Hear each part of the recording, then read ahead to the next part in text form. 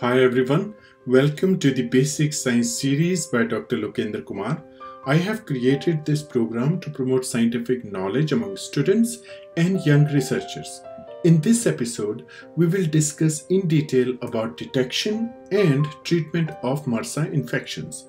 To know basic concepts about MRSA, please refer to the episode 19. MRSA is a type of Staphylococcus aureus bacterial infection that has become resistant to many of the antibiotics used against this bacteria.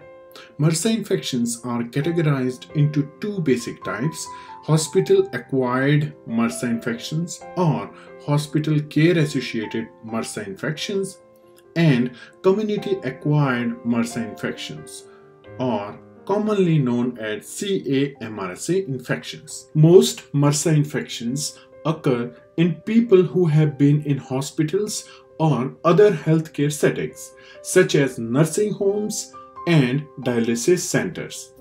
When it occurs in these settings, it is known as healthcare associated MRSA or HA-MRSA infection. Another type of MRSA infection that has occurred in a wider community among healthy people is known as community acquired MRSA infection or community associated MRSA infection. It is spread by skin to skin contact. At risk populations include groups such as high school wrestlers, child care workers, and people who live in a crowded conditions.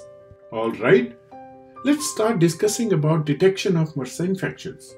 When patient is feeling high fever with a delayed wound healing, that could be the first sign of MRSA infection.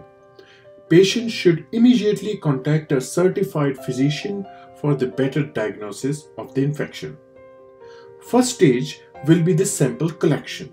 The sample will be collected from the affected area.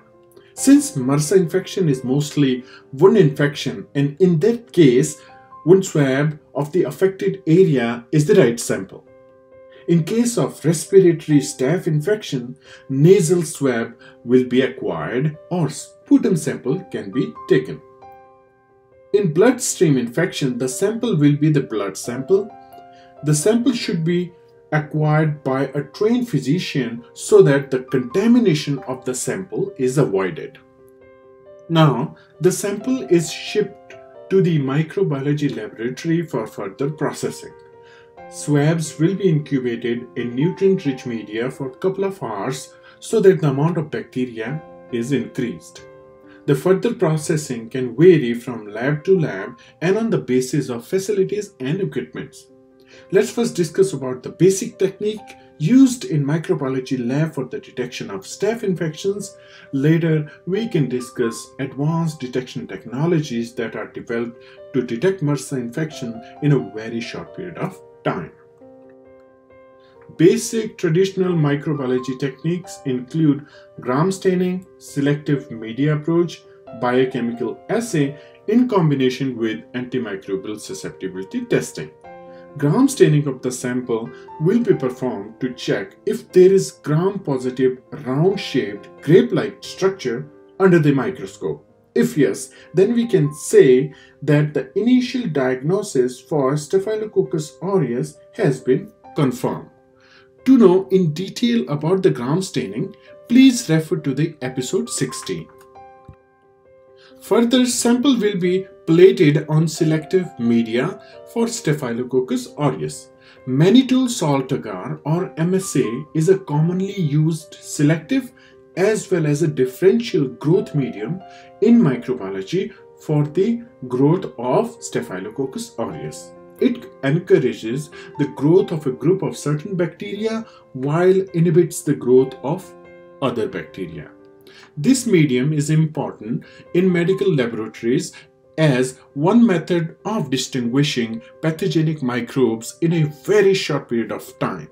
It contains a high concentration, about 7.5% to 10% of salt, which is sodium chloride, making it selective for gram-positive bacteria, which is Staphylococcus and Micrococcus.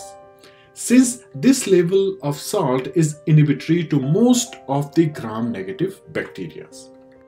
It is also a differential media for mannitol fermenting staphylococci containing carbohydrate mannitol and the indicator phenol red, a pH indicator for detecting acid production by mannitol fermenting staphylococci. Staphylococcus aureus produces yellow colonies with yellow zones, whereas the coagulase negative staphylococci produce small pink or red colonies with no change in the color of the medium. Further, using the help of biochemical assays, the bacterial genus and species is confirmed. Staphylococcus aureus is DNase positive, mannitol positive, and it causes alpha hemolysis. It is coagulase positive. Rest of the biochemical assay results you can see on the screen of your computer. In future, I'll make presentation on these selected tests and explain the science behind these tests. So please stay tuned and subscribe the YouTube channel so that you get all the information about the presentation immediately. Alright, further confirmation is done by antimicrobial susceptibility testing. AST is performed and the resistance of the bacteria against methicillin antibiotic is confirmed. AST can also tell us about the other antibiotics that can kill the MRSA infection and that will be very helpful for the physicians to prescribe the treatment for the patients. Another method to detect the MRSA infection is PCR of mecA gene. PCR means polymerase chain reaction. It is a technique used in molecular biology that can detect and identify the bacteria by their DNA. So if you have facility, you can directly do the PCR of your sample and look for that particular gene.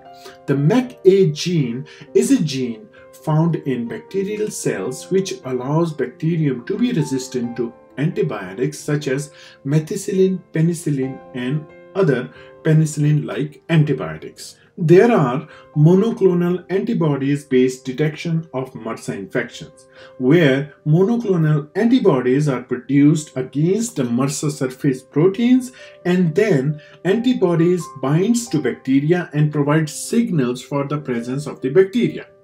Please watch episode 7 to know more about monoclonal antibodies.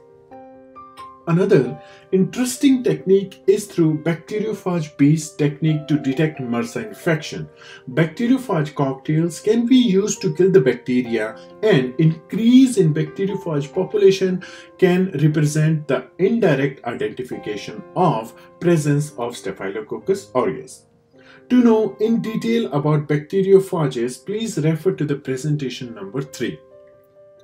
So after doing some online research on MRSA infection, I found couple of papers and couple of articles showing that these are the antibiotics that can be used against MRSA infections. They have shown some promises in vitro as well as in vivo against MRSA strains. Effective antibiotics against MRSA infections include vancomycin, carbapenem, levofloxacin, temafloxacin, sparfloxacin, cotrimoxazole, rifampicin, arbekacin, streptogramins, and virginiamycin show excellent activity in vitro and in vivo against MRSA and considered as a real future potential alternative agents to vancomycin.